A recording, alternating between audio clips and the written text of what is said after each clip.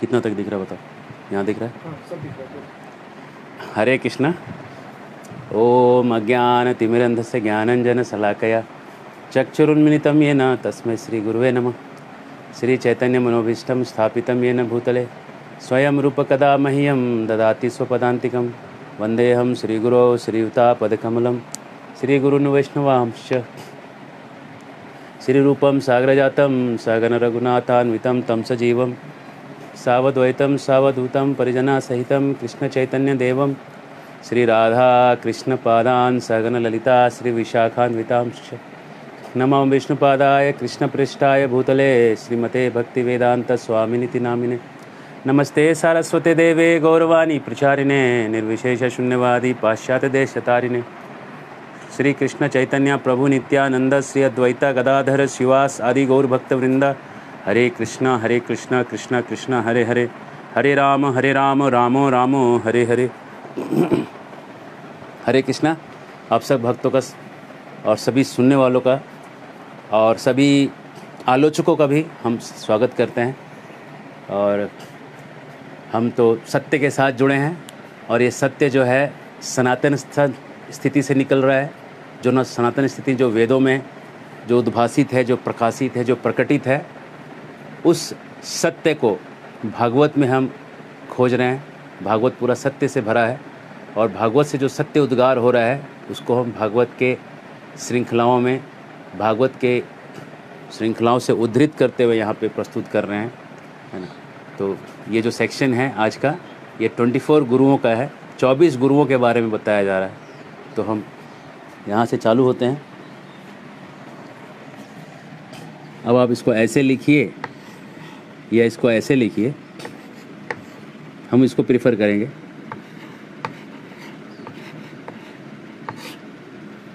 चौबीस गुरु, ये हमारा शीर्षक है। थोड़ा थोड़ा देवनागरी सीख लीजिए। हमारे जो एज तक के जो लोग हैं, उन लोगों ने तो सीखा हुआ है। लेकिन जो अब जो स्कूलों में जा रहे हैं, जहाँ पे father and nun are teaching so they are not teaching Devanagari. They are teaching they are spoiling वो पूरा का पूरा जो है स्क्रिप्ट उनको पूरा फॉरेन माइंड बना दे रहे हैं। चौबीस गुरुओं की कहानी सुना रहे हैं।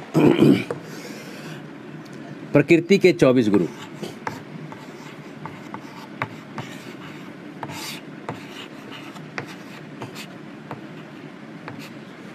और ये जो क्लास है, बहुत रिवोल्यूशनरी है। क्रांतिकारी क्लास है बहुत।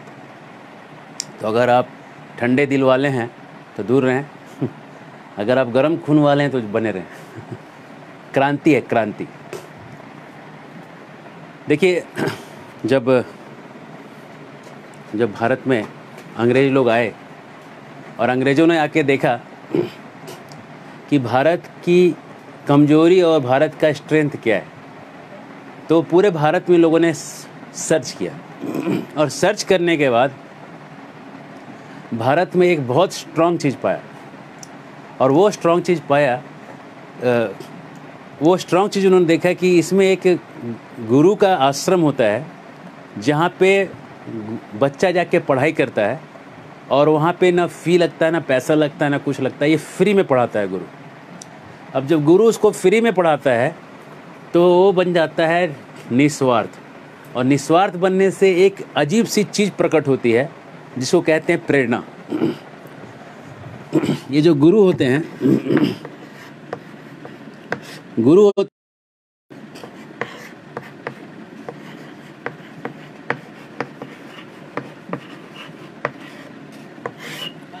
और निस्वार्थ गुरु जब हो जाता है तो निस्वार्थ गुरु देता है, एक चीज़ का जन्म होता है, जिसको कहते हैं प्रेरणा। प्रेरणा का जन्म होता है। इंस्पिरेशन किस चीज़ की? शरणागति की। शरणागति का भाव आता है।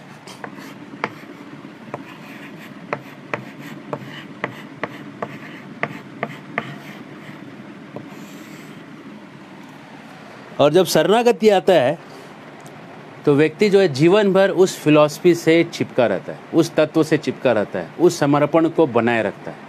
और इसी कारण से क्या देखा उन्होंने कि भारत में कोई डाइवोर्स नहीं होता। जब अंग्रेज़ आए थे, तब तो ये चीज़ सुनने को नहीं था। और तब भी वो वैसे ही थे जैसे आज हैं। आज थोड़ा ज़्यादा लुच्चे हुए, लेकिन पहले भी कम नहीं थे। तो सॉरी अगर आपको ये वो शब्द ज़्यादा स्ट्रांग लग रहे हैं, लेकिन ये इससे अच्छा मुझे और कोई शब्द मिला नहीं। अगर आपको मिले तो बताइएगा। तो जब ये शरणागति नहीं है तो परिवार जीवन में भी यूज़ एंड थ्रो रहता है सिस्टम पति पत्नी साथ में आए। अंग्रेज़ों ने उनके उनके उनके स्टाइल को देखा था। और वो दोनों का कमिटमेंट बहुत कम है। कमिटमेंट कम है तो उस कम कमिटमेंट को ब्रेक करना बड़ा आसान है। तुरंत ब्रेक होकर तुरंत दूसरा रिलेशनशिप चालू होता है। भारत में ऐसा नहीं है। चूँकि वो गुरु, निस्वार्थ गुरु को उसने देखा है, प्रेरणा से शरणागति सीखा है कमिटमेंट उसके लाइफ में जो है पहला चीज़ है।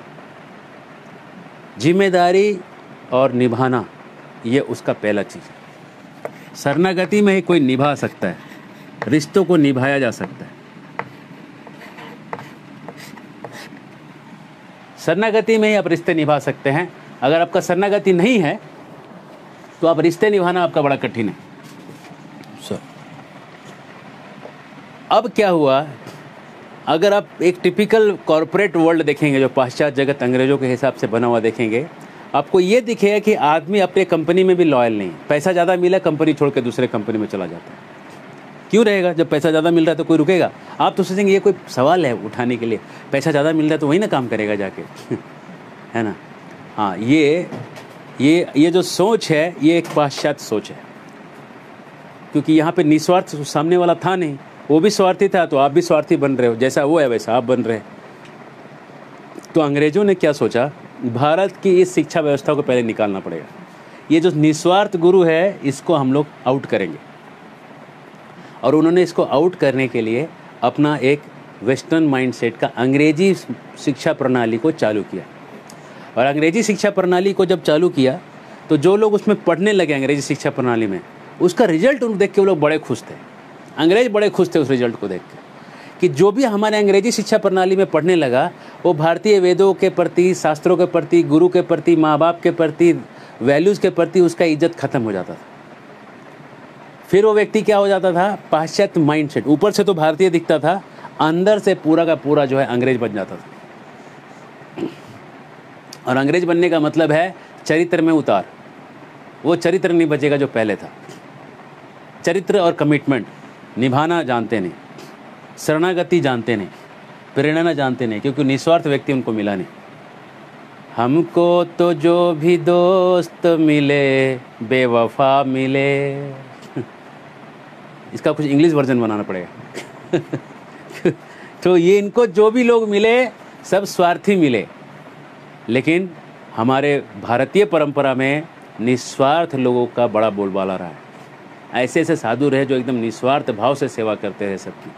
और इसलिए एक ऐसे प्रणाली को ये लोग गुरु लोग चला पाए गाँव गाँव में गुरुकुल चला पाए। आज भारत में छः लाख गाँव हैं। तो क्या छः लाख गुरुकुल हैं? मेरा सवाल है। हाँ? पहले एक गाँव में चार पाँच गुरुकुल हुआ करते थे। एक गाँव में। तीस चालीस लाख गुरुकुल थे अंग्रेज़ों के ज़माने में। जितने गाँव थे उतने से एक एक गाँव में पाँच पाँच गुरुकुल हुआ करते थे। हर गाँव में एक गुरु का आश्रम है, दूसरे गुरु का आश्रम है, तीसरे गुरु का आश्रम है। जिसमें चाहिए उसमें पढ़ो जाके। है ना? और अब, है ना? अब कहाँ है? कहाँ गया वो मेरा मेरा भारत मेरा भारत महान? जहाँ पे विद्या की नदी बहा करती थी। जहाँ पे हर व्यक्ति जो है प्रवीण होता था, कुलीन होता था, संस्कारी होता था, शरणागत होता था। हर व्यक्ति में कुछ सेवा भाव होता था। वो भारत कहाँ गया? शिक्षा प्रणाली ने उसको खाया। आधुनिक शिक्षा प्रणाली ने उस गरिमामय भारत को खा के ख़त्म कर दिया। और जब वो ख़त्म हुआ तो इन लोगों ने अपना अल्टरनेटिव एजुकेशन सिस्टम बनाया। आंग्ल शिक्षा प्रणाली को उन्होंने चलाया। और उस आंग्ल शिक्षण प्रणाली में चरित्र का कहीं कोई स्थान नहीं। कहीं से कोई स्थान नहीं। गुरुकुल में सबसे पहला चीज़, उठो और गुरु के पैर छुओ। क्या स्कूलों में ये सिस्टम है? टीचर को कोई रिस्पेक्ट देने के लिए कोई शब्द नहीं। Good morning, teacher. दोस्त को जैसा बोलते हैं वैसा, है ना? एक दोस्त की इज़्ज़त हो गया और अब तो वो भी नहीं रहा। धीरे धीरे उस चीज़ पूरा ही ख़त्म हो गया वाइप आउट हो गया तो ये उतर गया। अब इसमें क्या हो गया, चरित्र आप एक्सपेक्ट नहीं कर सकते लोगों से। फिर आप सोचेंगे, क्या दिक्कत है, चरित्र नहीं रहेगा तो? क्या दिक्कत है? अगर हमारा बच्चा ड्रग्स लेता है और लड़कियों के साथ ऐस मौज करता है, क्या दिक्कत है आपको गुरु जी इसमें? अगर आपका बेटा को तकलीफ़ है, हमें कोई दिक्कत नहीं। लेकिन आपका बेटा जब ड्रग्स लेके किसी और का खून करेगा और जब वो किसी और की बेटी के साथ बवाल मचाएगा तो उसको जो दिक्कत होगा, उससे हमें दिक्कत है। अगर आप अपने बेटे को नरक में ही डालना चाहते हैं तो डालिए बेशक। औरों को मत डालिए। समाज को नरक मत बनाइए। इसलिए ये शिक्षण प्रणाली जो है समाज को नरक में कन्वर्ट कर रहा है और कुछ नहीं कर रहा है। तो इसलिए अंग्रेज़ों ने जो शिक्षण प्रणाली बनाया, उसमें एक पतली सी बात बताता हूँ। तभी हमारा भागवत के बात को आप समझ पाइएगा। भागवत क्या कह रहा है? आप इसको क्लिक कर लें, क्योंकि ये लॉजिक है, बहुत बड़ा, जो चल रहा है इस पर हरे कृष्ण। हरे कृष्ण हरे कृष्ण कृष्ण कृष्ण, हरे हरे हरे राम हरे राम राम राम, हरे हरे। देखिए, ये जो इंग्लिश सिस्टम है इंग्लिश एजुकेशन सिस्टम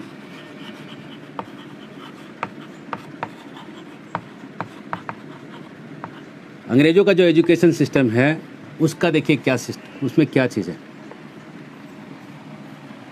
जैसे ही कोई अंग्रेज़ों के सिस्टम में पढ़ेगा, है ना, उसमें क्या चीज़ आएगा? ये सिस्टम बना है ऑथोरिटी सबऑर्डिनेट मोड पे।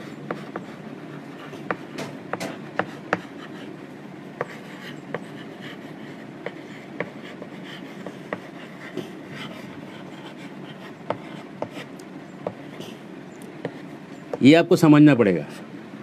अंग्रेजियों का सिस्टम बना था लोगों से खटवाने के लिए, काम कराने के लिए, हुकुमशाही चलाने के लिए। दिमाग मत चलाओ, जो बोला गया सो करो। कहीं भी आप ये सुनते हैं, जो बोला गया सो करो। मतलब वो अंग्रेज़ का बच्चा है। वो अंग्रेज़ का बच्चा है, अंग्रेज़ की पूंछ उसके अंदर, उसके दिमाग में घुसी पड़ी है, और वो हमारे देश के लिए जहर है। इस व्यक्ति को सबसे पहले पकड़ना चाहिए, उसके दिमाग को साफ़ करना चाहिए। जो बोला गया सो करो। Just follow what authority saying follow the authority authority को फॉलो करो।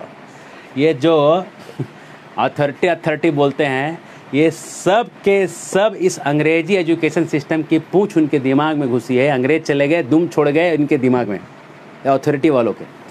क्योंकि जब अथॉरिटी होता है तो क्वेश्चन नहीं होता। अब आप मेरे को सवालों को, मेरे सवालों का जवाब दीजिए। अभी कोई इंजीनियरिंग पढ़ने गया है ना? कंप्यूटर इंजीनियरिंग पढ़ रहा है। और चार साल जो कंप्यूटर इंजीनियरिंग पढ़ता है, जब वो जहाँ जॉब करने जाता है तो उसको वहाँ पे एक अलग से कोडिंग सिखाना पड़ता है, अलग से उसका ट्रेनिंग देना पड़ता है। तो चार साल क्या कर रहा था? घास छिल रहा था बैठ के कॉलेज में वो। किस लिए किस लिए गया था कॉलेज में? हाँ गोली खेल रहा था, क्या बोलते हैं बच्चों की? अंटा अंटा। हाँ हाँ। गोली खेलने के लिए कॉलेज गए थे?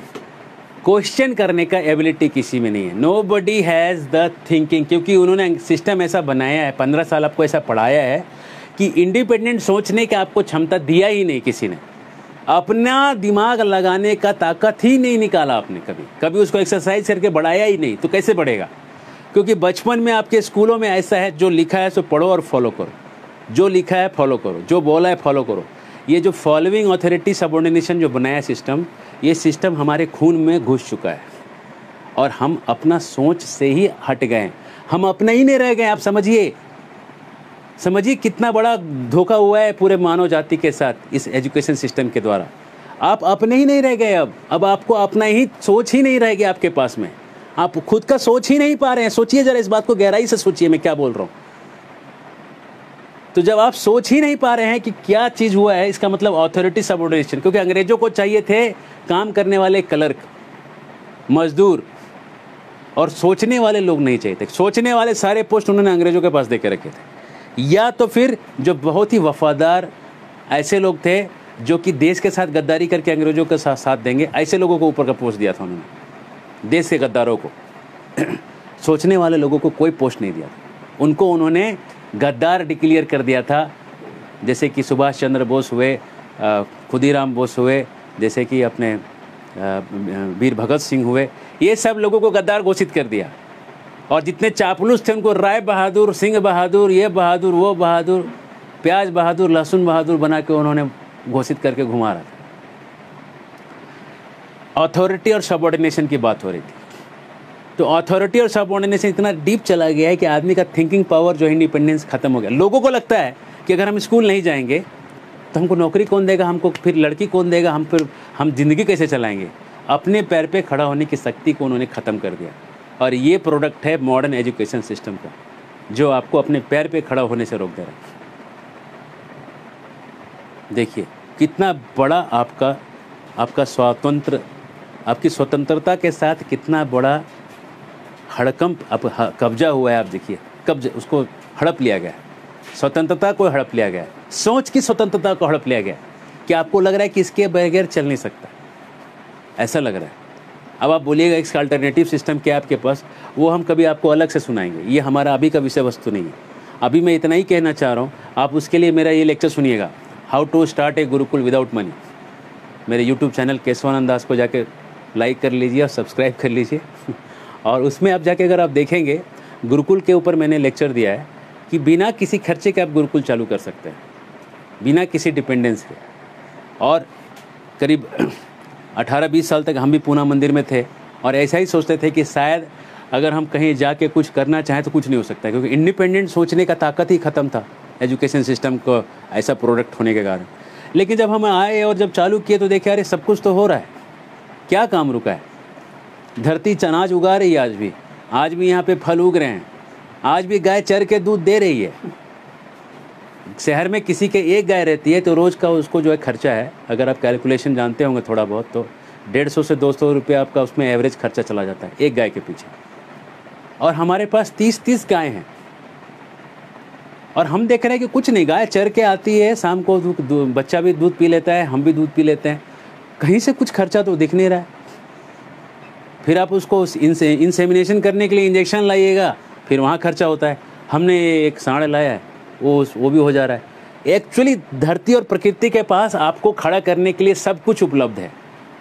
आप उतरिएगा एक एक करके चीज़ें आपकी खुलती जाएगी। लेकिन वो गट्स ही नहीं दिया किसी को कि आप उतर के ट्राई करो। लोग घबराते हैं। घबराते हैं कि हम उतरेंगे तो क्या होगा? और उस घबराने का रीज़न आप नहीं है।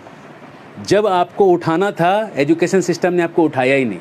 आपके अंदर ये सोचने की शक्ति को उन्होंने सिस्टमेटिकली जो है, वो वो जो है जाम करके रखा। और जब अब आपको छोड़ दिया, अब आपको वो हिम्मत ही चला गया।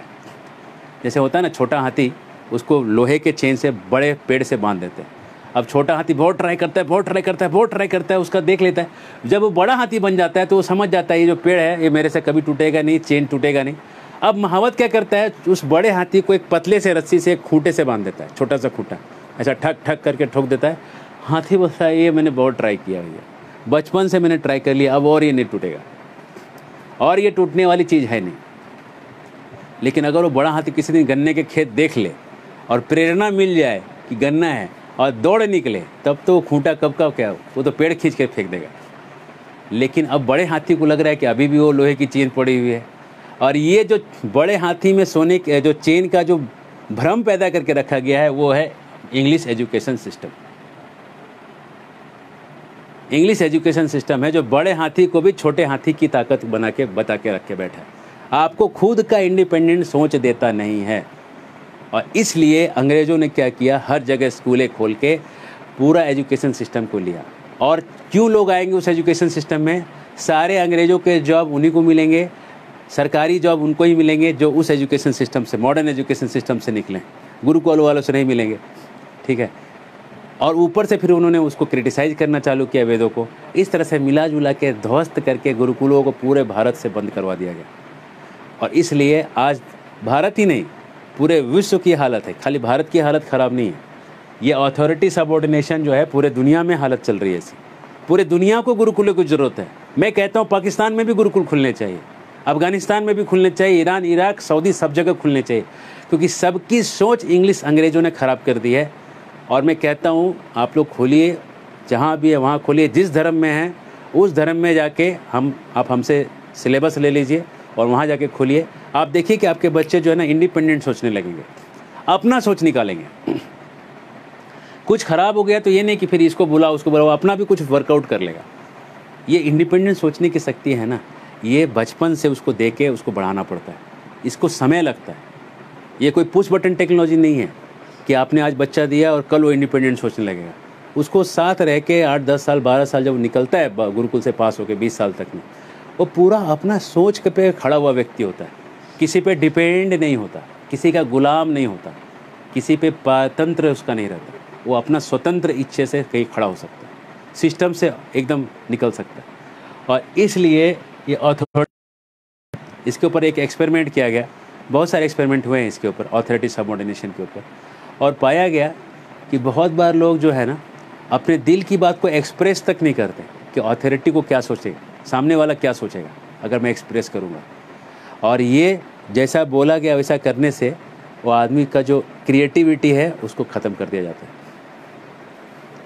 जो पहले लोहार लोग करते थे, लोहा को बेंड करते थे आज के इंजीनियर लोग पास होने के बाद उतना बेंट करने भी उनको नहीं आता। और अपने आप को इंजीनियर कहते हैं। एक बार आईआईटी बॉम्बे में क्लास हो रहा था और वहाँ पे उनको एक लोहा को गलाना था। तो उन्होंने एक गाँव के लोहार को बुलाया था। आईआईटी बॉम्बे की बात हो रही। और वो बुला रहे थे और वो गोविंद प्रभु जो हैं चौपाटी में वो कहानी कह रहे थे। तो वो आईआईटी में जाते रहते हैं। और डॉक्टर गणेश रामकृष्णन हैं, वो वो भी वहीं पे प्रोफेसर हैं। तो ये लोग कहते हैं कि वहाँ पे, वहाँ के स्टोरीज को आप सुनेंगे, वो लोहार जो आया, उसने देखा कि लोगों ने क्या किया, एक पंखा लगाया हुआ है, हवा देने के लिए। और पंखे से लोहा, बोला, इससे कभी नहीं गलेगा। ये जो आग है, ये मरा हुआ आग है। तो बोले अच्छा मतलब आग भी मरा हुआ और ज़िंदा दो होते हैं? बोला, एकदम होते हैं। ये मरा हुआ आग जरा है, कभी नहीं गलेगा। उन्होंने ट्राई किया ट्राई किया, नहीं हुआ। बोले, तब कैसे होगा? बोला, धोखनी लेके आना पड़ेगा। बेलो होता है ना, लोहार का धोखनी होता है। वो धोखनी लेके आए और उसने हवा दिया, वो गल गया। वो बोला, उनचास प्रकार का आग होता है। Forty nine there forty nine types of fire गाँव का अनपढ़ लोहार बोल रहा है। The forty nine types of fire अलग अलग आग आप अलग अलग चीज़ से पैदा कर सकते हैं अलग अलग चीज़ काम करने के लिए। हर हर चीज़ का आग अलग होता है। तो इसका मतलब है कि वैदिक समय में एक लोहार को भी इतना ज्ञान था। प्रैक्टिकल नॉलेज आज आईआईटी के लोगों को भी कहाँ है? मैकेनिकल इंजीनियर है, लेकिन गाड़ी देखेगा तो कुछ नहीं कर पाएगा। कोई विरले होते हैं, सौ में कोई एक होता होगा जिसको कोई प्रैक्टिकल नॉलेज भी होता होगा। बाकी सब तो किताबी कीड़े होते हैं। बस पढ़ लेते हैं एग्ज़ाम में टेन आउट ऑफ़ टेन ले आते हैं गोल्ड मेडल भी ले आते हैं। उनकी अपनी कार ख़राब हो गई, रास्ते में तो मैकेनिक को फ़ोन करते कि भाई हमारी कार ख़राब हो गई, है ना? एक हमारे पापा के कलीग थे। वो एक किसी आईआईटी से पास आउट थे। आईआईटी खड़गपुर के पास आउट थे। मैकेनिकल इंजीनियर थे। उनका पोस्टिंग हुआ था और गाड़ी का फ़ैन बेल्ट टूट गया था। ड्राइवर ने आके बोला, सर फ़ैन बेल्ट टूट गया तो इंजीनियर साहब ने कहा वेल्डिंग करा लो। हरे कृष्ण। अब ड्राइवर कुछ बोला नहीं, भाई, बड़े साहब हैं अथॉरिटी है अथॉरिटी तो सबॉर्डिनेट कैसे कुछ बोलेगा? क्योंकि फ्री थिंकिंग की कैपेसिटी नहीं तो अब आते हैं कि हमने इतना बड़ा एक्सप्लेनेशन क्यों दिया? ये बैकग्राउंड है हमारे आज के कहानी के लिए। इसलिए ये जो ऑथोरिटी सबॉर्डिनेशन को तोड़ना है अगर तो हमको ऐसा सिस्टम निकालना होगा जहाँ पे आदमी खुद का गुरु बने। हाँ भाई, आपको खुद का गुरु बनना है।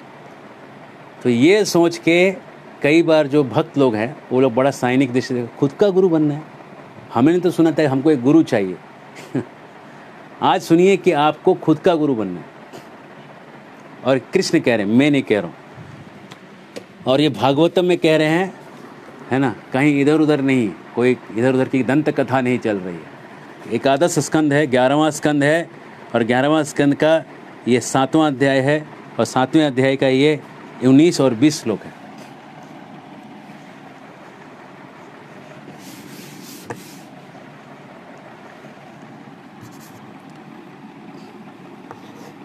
ग्यारहवां स्कंद, सातवां अध्याय।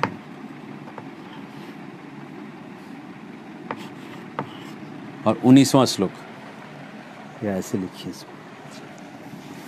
और थोड़ा संस्कृत हो जाए।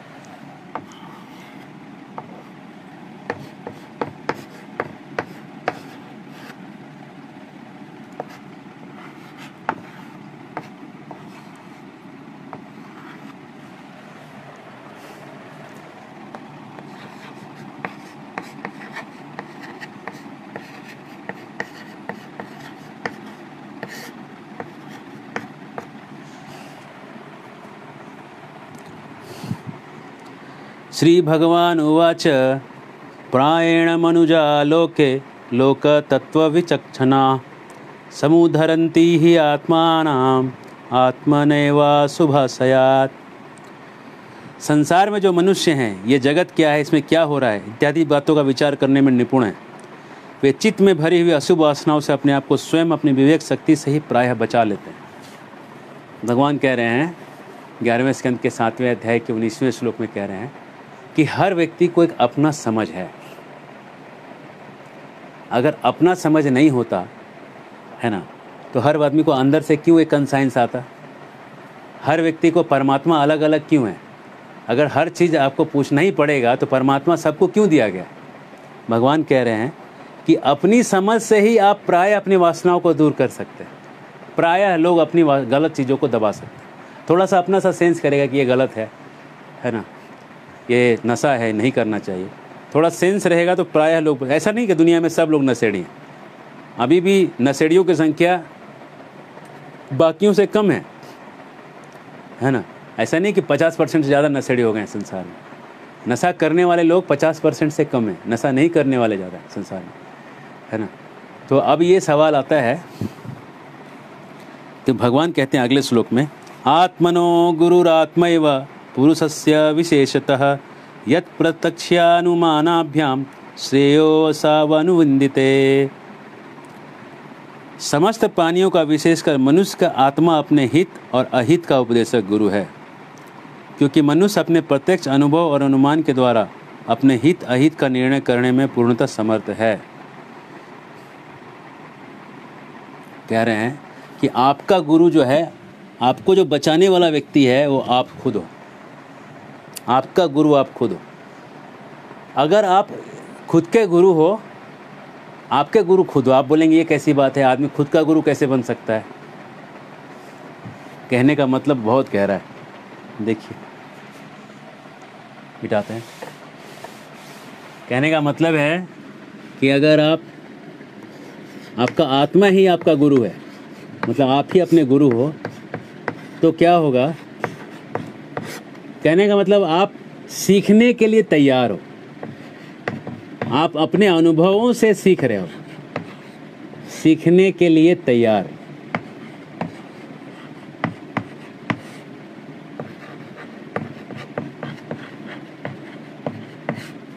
आप किसी चीज़ को सीखने के लिए तैयार हो तो आप अपने आसपास नज़र घुमाओगे।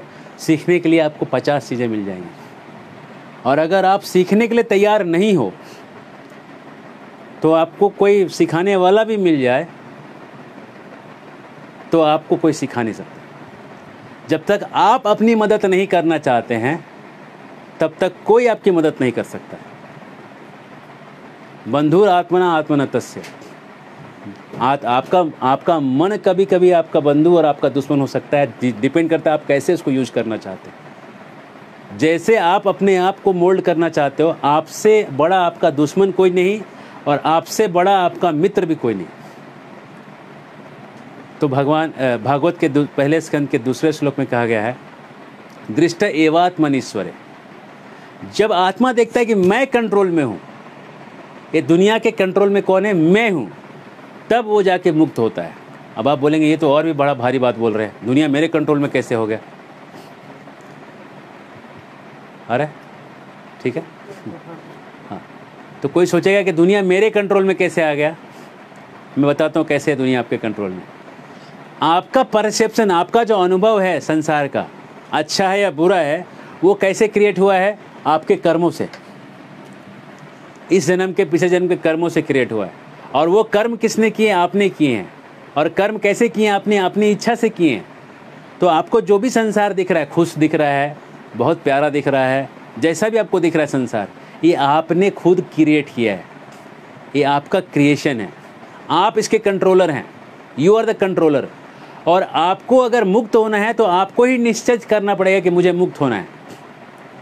जैसे कि अगर आप सुबह उठते हैं तो ब्रश तो आपको खुद करना होता है। है ना? है ना? नहाना खुद होता है, कोई दूसरा पानी तो डालता नहीं है। है ना? तो इसलिए जैसे ही जैसे ही आप अपने आप को कंट्रोलर समझते हैं, आपके लाइफ का कंट्रोलर कि मेरे लाइफ का सब कुछ मेरे पे डिपेंड है, मैं अपने लाइफ का कंट्रोलर हूँ, उस तरह से फिर जब आप करते हैं तो जब आप उस तरह से करते हैं तो जाके आप जो हैं, अपने जीवन को सही रास्ते पे आप बढ़ा सकते हैं।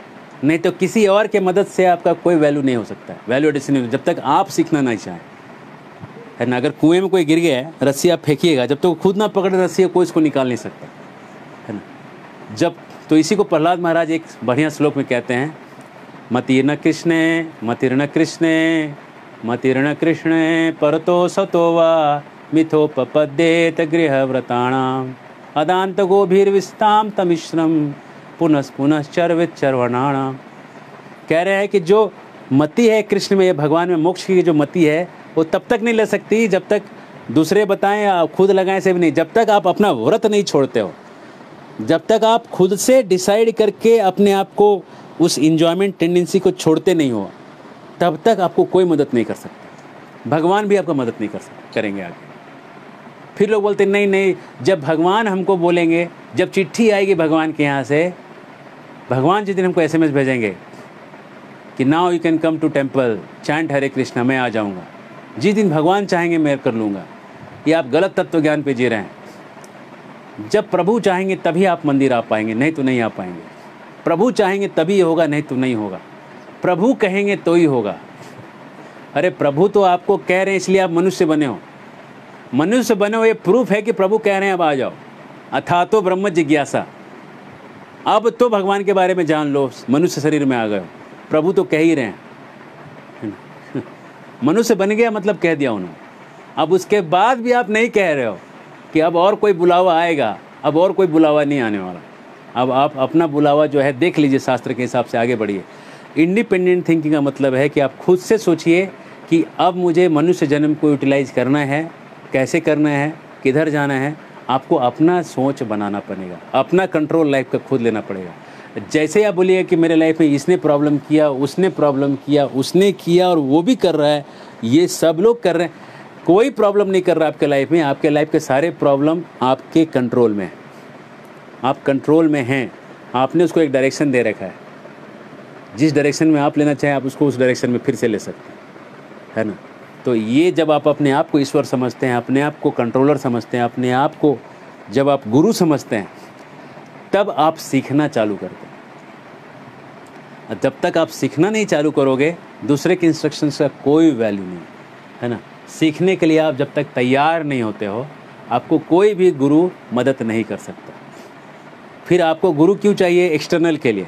कि देखो, मैं भी एक रिलीजियस आदमी हूँ, मैं भी टीका लगाता हूँ मैं भी कपड़े पहनता हूँ, मैं भी धोती पहन लेता हूँ, मैं भी दान पुण्य करता हूँ। ये नाम कमाने के लिए आपको गुरु चाहिए मतलब आपको निकलना नहीं है, मोक्ष का रास्ता नहीं चाहिए आपको आपको बस नाम का रास्ता चाहिए। तो जब आपको निकलना है यहाँ से संसार से तो आपको सीखने के लिए तैयार रहना पड़ेगा। लर्निंग मोड में रहना पड़ेगा बच्चे के जैसा। और जब आप लर्निंग मोड में रहते हैं तो इसी दुनिया में बहुत सारी चीज़ों से आप बहुत कुछ सीख सकते हैं। सीखने के लिए बस पड़ा हुआ है। और यही चौबीस गुरु इसमें सिखाएँगे, एक के बाद एक के बाद एक। जो हम कल से लेंगे। हमने तो आज सेशन वन में सोचा था हम चौबीस गुरु को स्टार्ट करेंगे, लेकिन हमको लगा कि ये जो बैकग्राउंड समझना बहुत ज़रूरी है कि चौबीस गुरु कैसे गुरु बने और हम गुरु कैसे बन जाएँगे भाई, खुद से ही। हमको कोई गुरु नहीं, खुद से हम गुरु बन सकते हैं। कैसे बन सकते हैं खुद के गुरु? जब तक आप खुद के गुरु नहीं बनिएगा, कोई गुरु आपको मदद नहीं कर सकते। कोई नहीं। भगवान कहते हैं गीता में, जब तक आदमी खुद छठे अध्याय के पाँचवें श्लोक में कहते हैं कि जब तक अपने मन को कोई खुद से कंट्रोल नहीं करता है कोई दूसरा के कंट्रोल नहीं कर देगा। जब तक आप खुद से नहीं शरणागति आना चाहते हो तो कोई दूसरा शरणागति नहीं कर देगा। इसलिए नियम ये है कि आप आपके ज़िंदगी के कंट्रोलर हो, आप अपनी ज़िंदगी का डायरेक्शन आप ले सकते हो। जिधर आपको ज़िंदगी का डायरेक्शन लेना उधर ले लो। ये आपको बाकी सब चीज़ें जो है पीछे पीछे आती है। लेकिन आपको अपने ज़िंदगी का लीड लेना पड़ेगा, नेतृत्व खुद लेना पड़ेगा। और आप जिधर लेके जाओगे उस डायरेक्शन में आप सीखना चालू करोगे। तो अगर आपको समाज से सीखना है प्रकृति से सीखना है तो हम आगे कल देखेंगे कि क्या क्या चीज़ से आप क्या सीख सकते हैं धरती से क्या सीख सकते हैं सहनशीलता सीख सकते हैं कैसे सीखेंगे वो कल और परसों एक सेशन हमारा एक्सटेंड हो जाएगा। क्यों, क्योंकि हमने आज का सेशन जो है बस इसका बैकग्राउंड एक्सप्लेन किया आपको। अब हम फोरग्राउंड में उतरेंगे और सारे गुरुओं को एक्सप्लेन करते जाएँगे। बहुत बहुत धन्यवाद। आपका अगर प्रश्न होगा तो आप दीजिएगा हम प्रश्न को एक्सप्लेन करेंगे। आ, कमेंट में डाल दीजिएगा। हरे कृष्णा। जय शिला प्रभुपाद।